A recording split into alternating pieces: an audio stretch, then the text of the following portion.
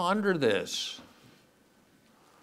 The popularity rating of Xi Jinping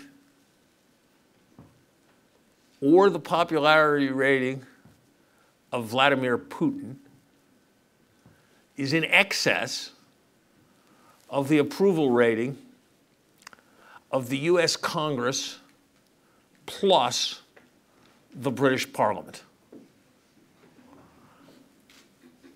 The former, the, the latter sum, since the US Congress is at 16%, can safely be assumed to be below 70%. And the approval rating of Vladimir Putin or Xi Jinping is a higher figure.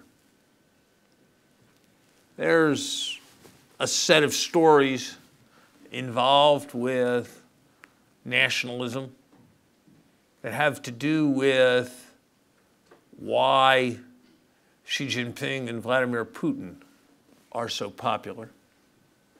But what's more important for my purpose tonight is to remark on the lack of faith, lack of trust in the major institutions of our democratic societies in the United States, in Britain, in continental Europe, and in uh, Japan.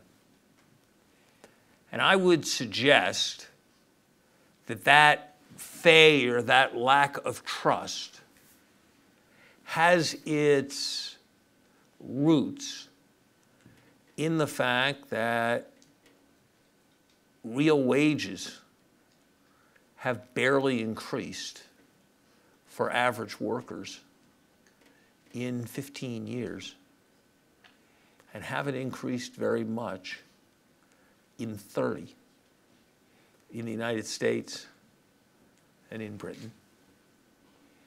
It relates to the fact that median family incomes have grown only quite slowly in our countries after adjusting for inflation. And it relates to the fact that everywhere in the industrial world, the fraction of men who are not working has risen quite sharply.